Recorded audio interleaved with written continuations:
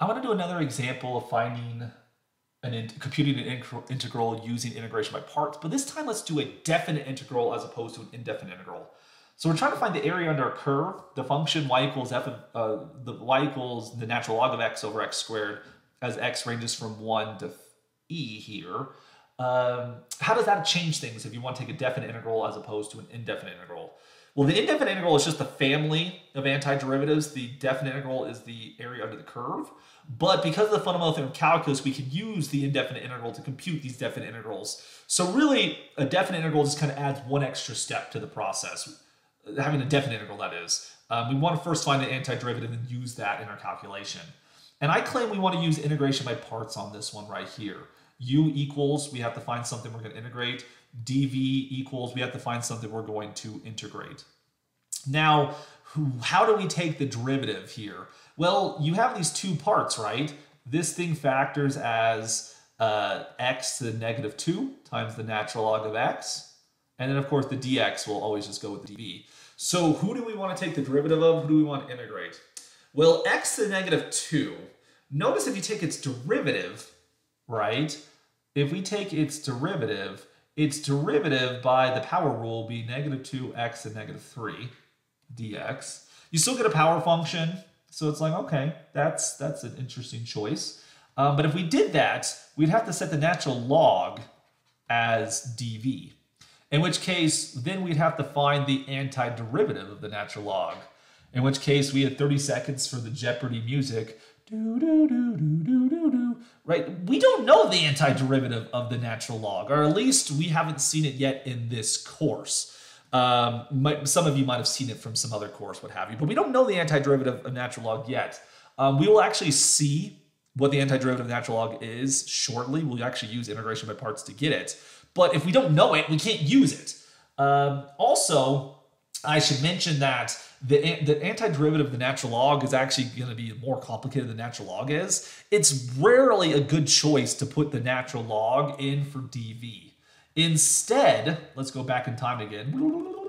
That was rewinding the cassette tape, in case you didn't know. Some of us might be too young for such things. Uh, but anyways, if we want to, in this situation, it's nearly always the best choice to put the natural log of x in for u. Because what's the derivative of the natural log? It's 1 over x dx. The natural log is a transcendental function. The 1 over x is an algebraic function. Transcendental just means it's not algebraic um, it, it kind of transcends the usual rules of algebra. We like algebraic functions over transcendental functions because we can use algebra to help simplify things. So if given the choice between an algebraic, uh, a transcendental algebraic function, we want something that's algebraic. Taking the derivative of the natural log makes it become algebraic. That's always a smart move.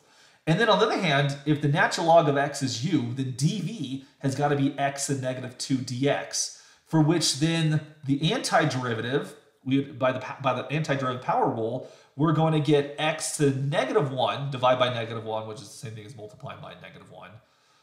We actually see it's like, hey, wait a second. By taking the derivative of the natural log, I get an algebraic function, and I'll actually have a smaller power of x there. Um, if you write it as a positive power, right? What, what I'm saying is, is this is sort of like a win-win situation. We get rid of the natural log, and we reduce the power of x in the denominator.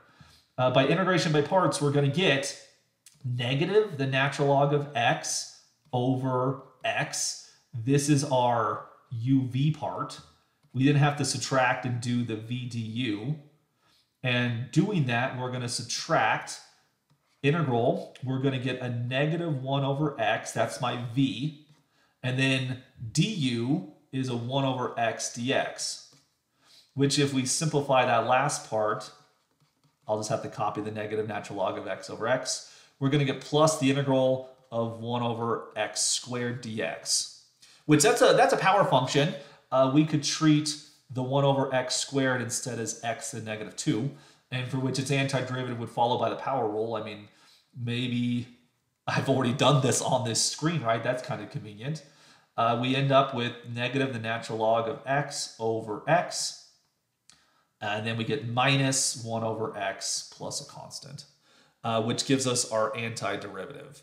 Now, wait a second, jk, what we're after is actually not an antiderivative. I mean, we, we, we were using it to help us compute, but we're looking for a definite integral. Remember, this is a definite integral. We have to evaluate this thing from 1 to e. Now, one school of thought here is just to evaluate the whole thing once you just find the antiderivative separately and then evaluate it one, one and e, which is perfectly fine. But another school of thought is to actually do it along the journey, right? Uh, because the integral that shows up in the integration by parts formula, it'll have those same limits, 1 and e. But then the function, uv, which is part of the antiderivative, you have to also evaluate it at 1 and e. So some people like to do the evaluation of the first part while they're also doing the antiderivative of the second part. So you can evaluate the 1 and e at the very end, or you could do part of it along the way. Um, again, this is just two different schools of thought. They're both correct. Um, do whatever kind of makes sense to you. Um, in this situation, I kind of procrastinate everything to the end. And so if we plug in the 1 and the e, we're going to end up with, let's plug in e first. We get negative the natural log of e over e minus 1 over e. And then we subtract from that uh, negative the natural log of 1 over 1 minus 1, 1 over 1, which is just a 1 there.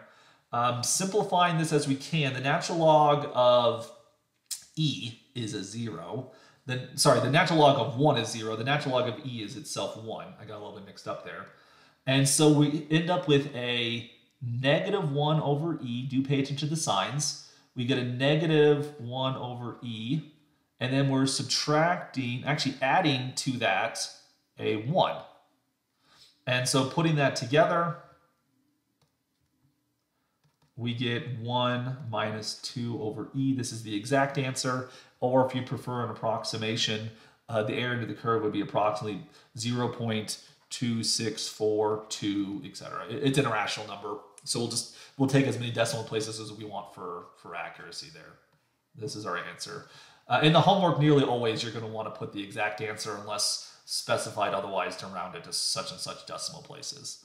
So doing a definite integral using integration by parts is not fundamentally different than uh, using and uh, doing it for indefinite integrals. There's just this extra arithmetic that follows the end of the problem because of the fundamental theorem of calculus.